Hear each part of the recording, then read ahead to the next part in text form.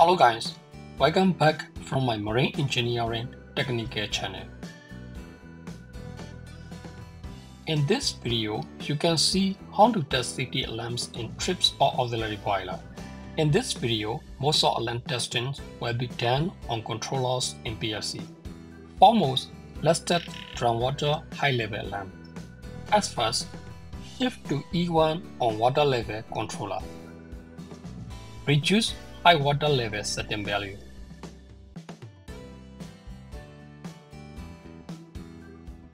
High water level alarm will activate and display on the screen.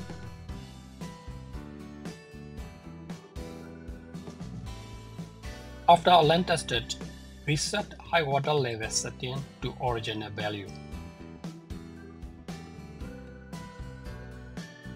After then, reset the alarm.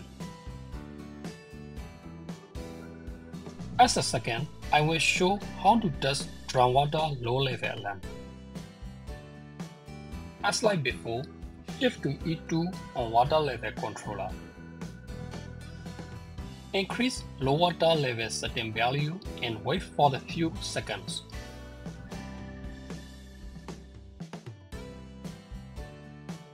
Low water level alarm activates and display on the screen.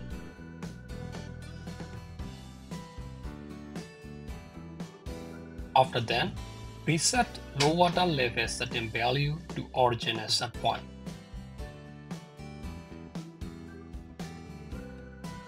Reset alarm by selector switch.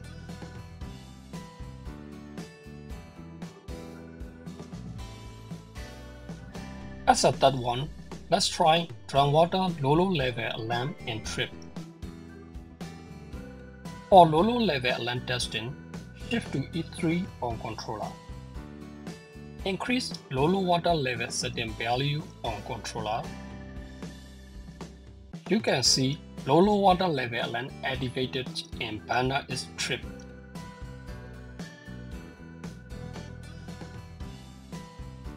After that, reset low-low water level lamp to original value.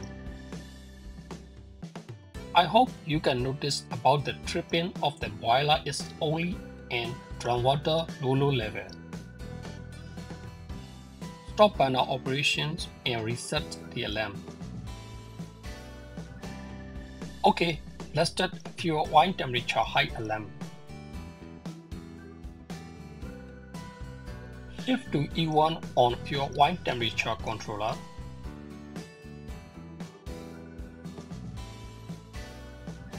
reduce oil high temperature setting value.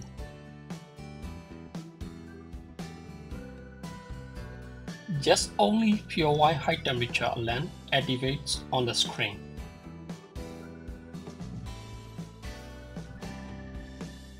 Reset high temperature setting value to original value. Oil high temperature is set at 150 degrees centigrade.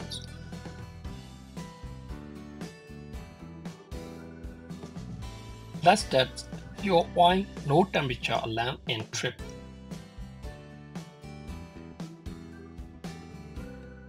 Go to E2 on FO temperature controller and increase low temperature setting value. You can see fuel oil low temperature alarm activates and burner trips. In this boiler, Fuel oil high temperature gives just only a lamp, but fuel oil low temperature activates both of the lamp in trip. Reset low temperature setting value to original and reset the lamp. Let's carry out boiler steam low pressure lamp.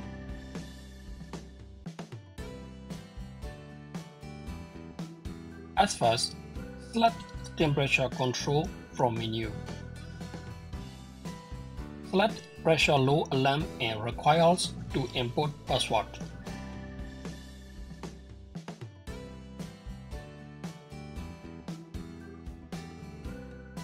And then reduce steam low pressure setting under current boiler temperature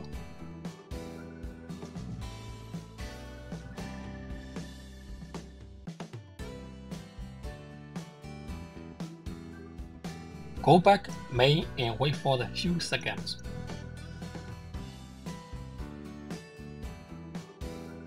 Then low pressure alarm will activate. Model of this boiler is STR 1500 and maker is Sunflame. Reset low pressure setting value to original and reset alarm.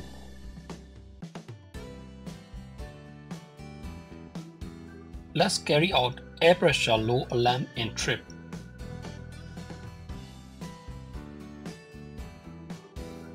As first, disconnect HU2 pressure switch and operate boiler.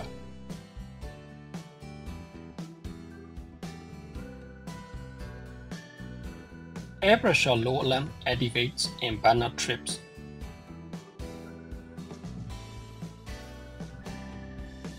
And then reconnect HU to pressure switch. Stop burner operation and reset lamp.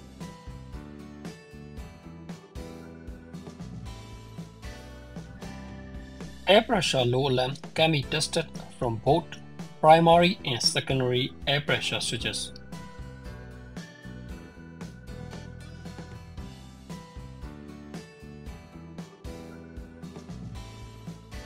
Okay, let's go back and test ignition failure alarm with the trip.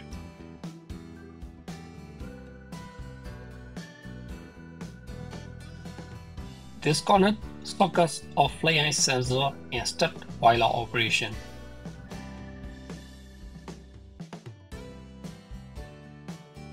You can see ignition failure alarm activates and burner trips.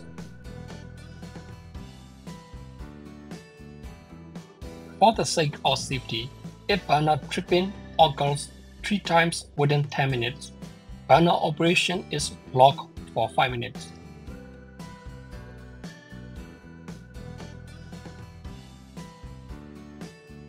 Reconnect sensor socket to flame eye sensor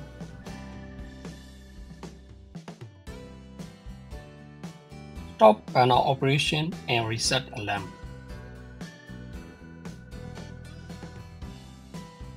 Now, let's start fire and furnace alarm with the trip.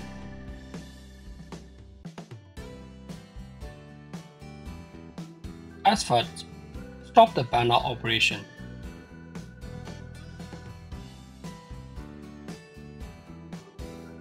Pull out flame sensor from its fitting. Expose live to flame sensor for few seconds. Fire and furnace alarm activates and burner will trip for safety. Mount flame sensor to its fitting. Reset alarm and opaque burner operation to auto mode. As final, I want to show how to operate safety valves by using manual easing gear. You can relieve excessive temperature by pulling manual easing gear from remote places. Thanks for watching. If this video is helpful to you, don't forget to like. And also, you can subscribe my channel for upcoming technical contents. Goodbye for now and hope to see you soon.